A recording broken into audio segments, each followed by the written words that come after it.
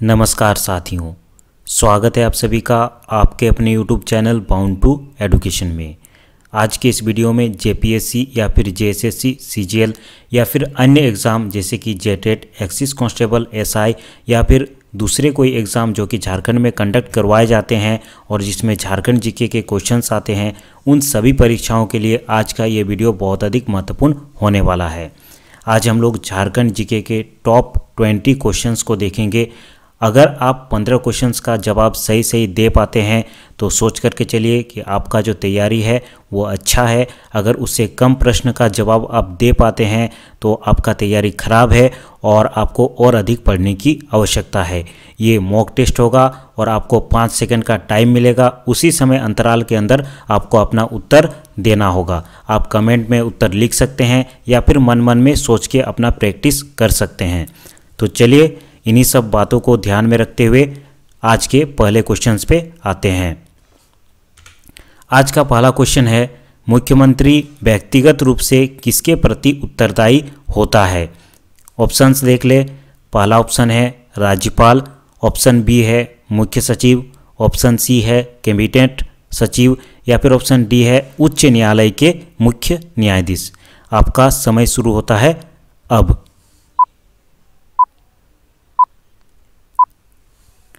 तो इस क्वेश्चन का करेक्ट आंसर हो जाएगा ऑप्शन ए राज्यपाल। मुख्यमंत्री व्यक्तिगत रूप से किसके प्रति उत्तरदायी होता है? राज्यपाल। ठीक है? चलिए नेक्स्ट क्वेश्चन की ओर आगे बढ़ते हैं। क्वेश्चन नंबर टू रांची ज़िले में टाना भगत पुनर्वास अधिनियम कब पारित हुआ? ऑप्शंस है 1946, 1947, 1948 या फिर लास्ट ऑप्शन है 1949 क्वेश्चन नंबर टू का करेक्ट आंसर सभी को ही बताएँगे।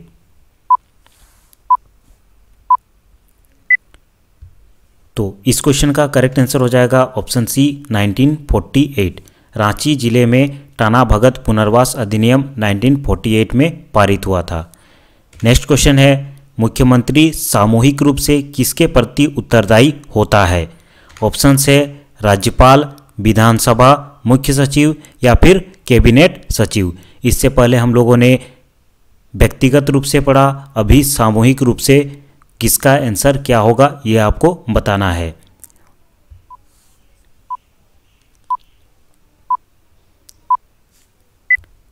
तो इस क्वेश्चन का करेक्ट आंसर हो जाएगा ऑप्शन बी विधानसभा। मुख्यमंत्री सामूहिक रूप से किसके प्रति उत्तरदायी होता है? विधानसभा ऑप्शन बी नेक्स्ट क्वेश्चन है, झारखंड पार्टी द्वारा राज्य पुनर्गठन आयोग से कितने जिलों के झारखंड की मांग की गई थी? ऑप्शन हैं बारह, ऑप्शन बी है चौदह, ऑप्शन सी है सोलह, या फिर लास्ट ऑप्शन है एट्टीन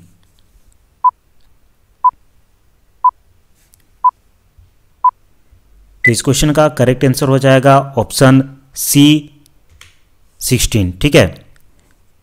झारखंड पार्टी द्वारा राज्य पुनर्गठन आयोग से कितने जिलों की झारखंड की मांग की गई थी? Option C, sixteen. Next question है, किस ज़िले का पुराना नाम पलाउन है?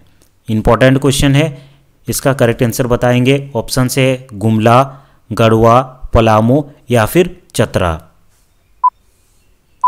किस ज़िले का पुराना नाम पलाउन है? तो इस क्वेश्चन का करेक्ट आंसर हो जाएगा ऑप्शन सी पलामू। ठीक है? पलामू का पुराना नाम पलाउन है इंपॉर्टेंट क्वेश्चन है ऑप्शन सी इसका करेक्ट आंसर होगा। नेक्स्ट क्वेश्चन है, सरायकला स्वतंत्र राज्य की स्थापना किसने की थी? ऑप्शन है विक्रम सिंह ऑप्शन बी है अर्जुन सिंह ऑप्शन सी है दलेल सिंह, या फिर ऑप्शन डी है चेतन सिंह।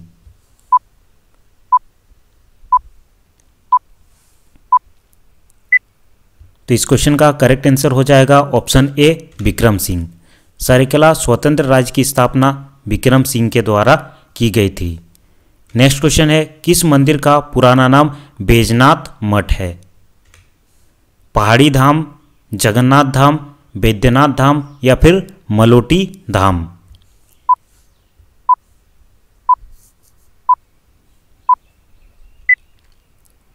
तो इस क्वेश्चन का करेक्ट आंसर हो जाएगा ऑप्शन सी बैद्यनाथ धाम। किस मंदिर का पुराना नाम बैद्यनाथ मठ है? बैद्यनाथ धाम। नेक्स्ट क्वेश्चन है जयपाल सिंह के नेतृत्व वाली झारखंड पार्टी का कांग्रेस में किस वर्ष विलय हुआ था? 1961, 1962, 1963 या फिर 1964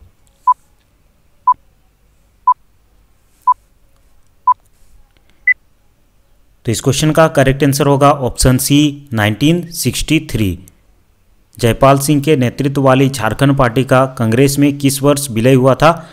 ऑप्शन सी 1946 माफ़ कीजिएगा 1963 नेक्स्ट क्वेश्चन है, झारखंड पार्टी का कांग्रेस में विलय बिहार के किस तत्कालीन मुख्यमंत्री की पहल पर हुआ था?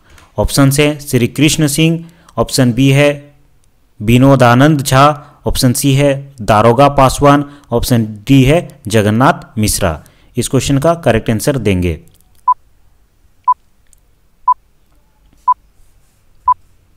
तो इस क्वेश्चन का करेक्ट आंसर होगा ऑप्शन बी विनोदानंद झा। ठीक है, ऑप्शन बी इसका करेक्ट आंसर होगा। नेक्स्ट क्वेश्चन है, झारखंड में कितने लाख हेक्टेयर भूमि में नकदी फ़सलें उगाई जाती है? ऑप्शन है एक लाख, दो लाख, तीन लाख या फिर चार लाख।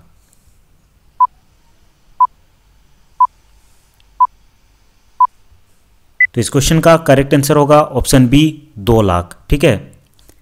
नेक्स्ट क्वेश्चन है, झारखंड में कितने प्रतिशत जनसंख्या कृषि पर निर्भर है? सत्तर प्रतिशत, बहत्तर प्रतिशत, चौहत्तर प्रतिशत या फिर छिहत्तर प्रतिशत?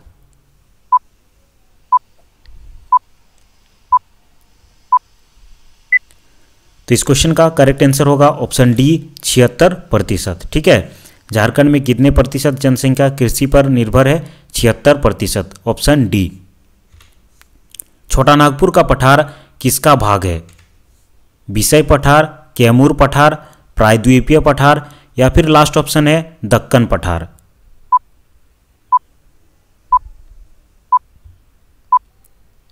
तो इस क्वेश्चन का करेक्ट आंसर होगा ऑप्शन सी प्रायद्वीपीय पठार। छोटा नागपुर का पठार किसका भाग है? प्रायद्वीपीय पठार ऑप्शन सी नेक्स्ट क्वेश्चन है राज्य में कुल जल संसाधन कितने मिलियन घनमीटर अनुमानित है?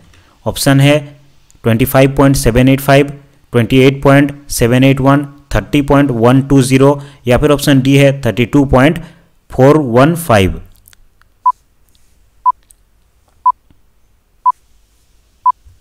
तो इस क्वेश्चन का करेक्ट आंसर होगा ऑप्शन बी 28.781 नेक्स्ट क्वेश्चन है, छोटा नागपुर का पठार प्रायद्वीपीय पठार के किस भाग में स्थित है? ऑप्शन है, उत्तर पश्चिम, उत्तर पूर्व, दक्षिण पूर्व या फिर दक्षिण पश्चिम। क्वेश्चन नंबर 14 का आंसर देंगे।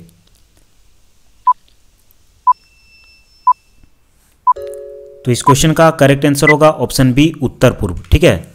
छोटा नागपुर का पठार प्रायद्वीपीय पठार के उत्तर पूर्वी भाग में स्थित है।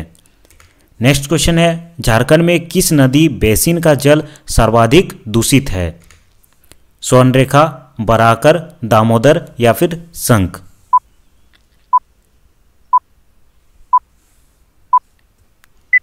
तो इस क्वेश्चन का करेक्ट आंसर होगा ऑप्शन सी, दामोदर, क्योंकि दामोदर नदी झारखंड का सबसे दूषित नदी माना जाता है। छोटा नागपुर के पठार की चट्टाने कैसी है?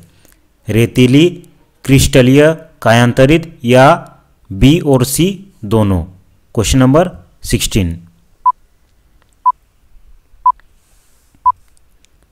तो इस क्वेश्चन का करेक्ट आंसर होगा ऑप्शन बी, क्रिस्टलीय।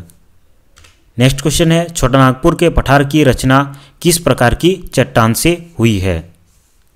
क्रिस्टलीय चट्टान, रेतीली चट्टान, लावा चट्टान ए और बी दोनों।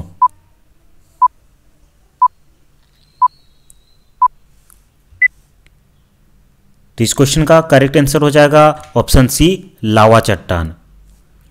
नेक्स्ट क्वेश्चन है, वो कौन सी भूमि है जो सी एन टी एक्ट में परिवार के नर वारिस न होने पर रैयत के मरने के बाद भूस्वामी को वापस मिल जाती है? बंजर भूदृत रैयत भूदृति या फिर बदलेन भूदृत या फिर पुनः ग्राहित भूदृति इस क्वेश्चन का करेक्ट आंसर क्या होगा? क्वेश्चन नंबर 18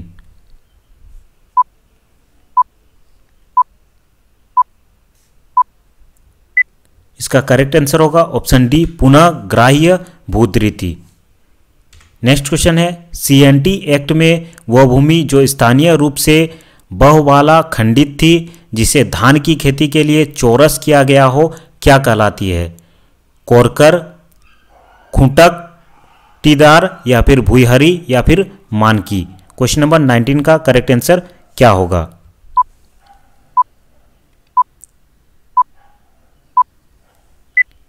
तो इसका करेक्ट आंसर होगा ऑप्शन ए कोरक्कर ठीक है? कोरकर इसका करेक्ट आंसर होगा, याद रखेंगे, क्वेश्चन 19 क्वेश्चन नंबर 19 का ऑप्शन ए। क्वेश्चन नंबर 20 है 1798 ईस्वी में बंगाल, बिहार और उड़ीसा में किया गया बंदोबस्त क्या कहलाता है? ऑप्शन है, महालवाड़ी बंदोबस्त, स्थायी बंदोबस्त, रेयतवाड़ी बंदोबस्त या फिर इनमें से कोई नहीं। क्वेश्चन नंबर ट्वेंटी का आंसर देंगे। तो इस क्वेश्चन का करेक्ट आंसर हो जाएगा ऑप्शन बी, स्थायी बंदोबस्त। 1798 ईस्वी में बंगाल, बिहार और उड़ीसा में किया गया बंदोबस्त क्या कहलाता है? स्थायी बंदोबस्त। ठीक है? तो आज के इस वीडियो में इतना ही। कमेंट करके आप बता देंगे कि आप कितने क्वेश्चंस का आंसर दे पाएँ। ठीक है? उसी हिसाब से आपको पता चलेगा कि आपको और कितना अधिक पढ़ने की आवश्यकता है। आज के इस वीडियो को देखने के लिए धन्यवाद। अगर आपने अभी तक चैनल को सब्सक्राइब नहीं किया है तो इसे ज़रूर सब्सक्राइब कर दे। अगर आपने वीडियो को लाइक नहीं किया है तो इसे ज़रूर लाइक कर दे। नेक्स्ट टेस्ट में हम लोग जल्द मिलेंगे। धन्यवाद।